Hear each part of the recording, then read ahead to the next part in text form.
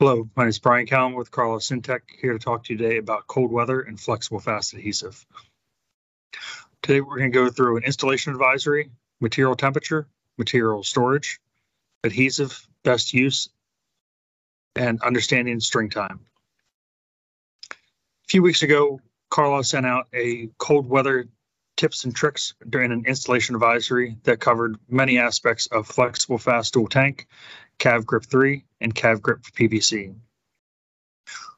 One area we always want to talk about in the wintertime is material temperature. Flexible fast is to be stored between 70 to 90 degrees at the time of use.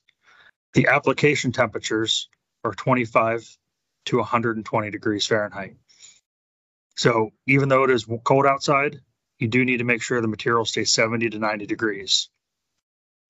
Best way to measure temperature on guns is to use a uh, battery powered infrared gun to shoot the outside of the container and see what the temperature is. Just keep in mind that you don't always, you're not going to check the center of the, the drum, the five gallon jug or the dual tank. You're just measuring the outside temperature of that container. So the center of that container may still be colder.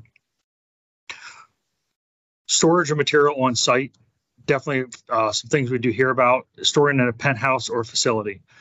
Usually that those areas are not 70 degrees.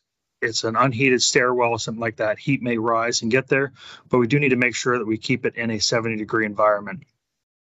Uh, also, storing material on pallets or insulation using basically what we're looking for is a thermal barrier, something to keep the adhesive off of the cold surface. So if you're over top of a gypsum deck, concrete deck, steel deck, those cold surfaces pull the temperature right out of the adhesive quicker than you can actually put it in there. So always keep that barrier during storage and use.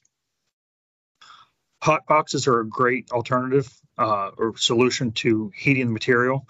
Not all of them are equal. Um, over my 20 years in the roofing industry now, I've seen a lot of homemade uh, hot boxes and they've uh, come a long way now as far as pre-manufactured ones. There's some nice ones manufactured by Power Blanket that keep the material fixed at 100 degrees, um, and you can store an entire pallet's worth of material in that.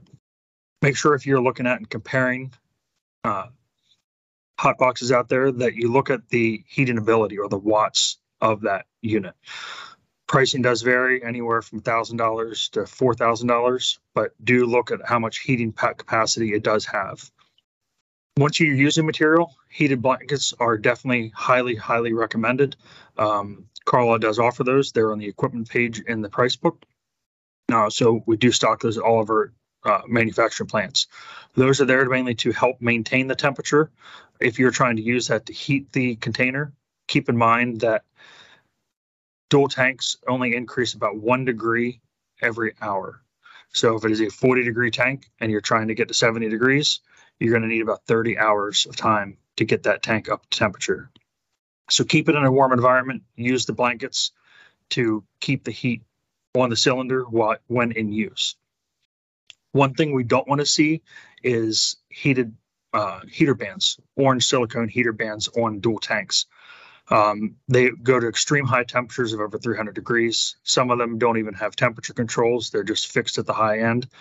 And they have a very, with that high heat and a concentrated area, it, it uh, focuses on about an inch in on the container and is not warming the whole material, the cylinder the whole way through. So ensure that you're using uh, blankets and hot boxes and not dual tanks. Another item to keep in mind in heating these is they are a pressurized vessel the quicker you heat them, they are going to raise in pressure. So do not overheat your tanks. 120 degrees is maximum.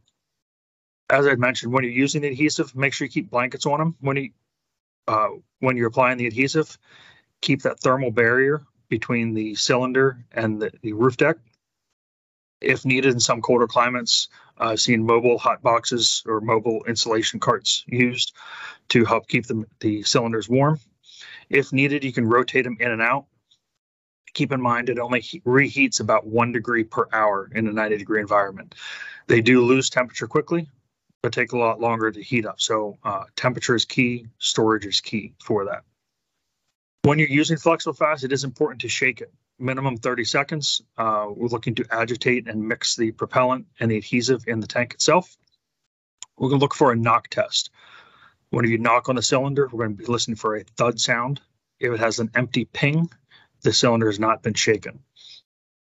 Make sure you uh, properly shake it. If it is not shaken, you could run into coverage rate issues, material left over, uh, and mixture problems as well. String time is something that Carlisle would promote heavily. Uh, flexible fast at a 70 degree uh, material temperature, 70 degree environment comes to string in about 90 seconds. The hotter the material, hotter the substrate, the quicker that reacts. The colder the material, colder the adhesive, the slower that is. A lot of the calls we get are uh, slow curing, adhesive not coming to string.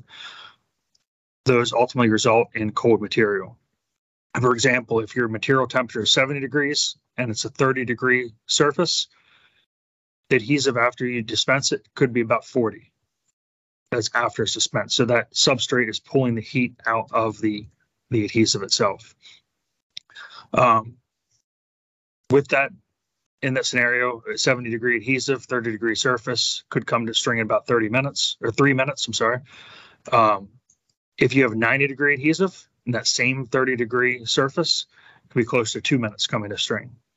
But if you have that 60 degree material, something outside of what we recommend, you're going to see something greater than five minutes for that string time to start. The close end of that string time also gets extended as well. So uh, it is important to make sure we keep everything warm. Uh, just recap a few things we talked about. Blankets, hot boxes are very important to make sure you keep the material warm. Rotate it in and out as needed. Keep a thermal barrier between the cylinder and the surface, uh, the, the deck itself, and ensure you're properly shaking the tip tanks as well as uh, changing your tips. Thank you.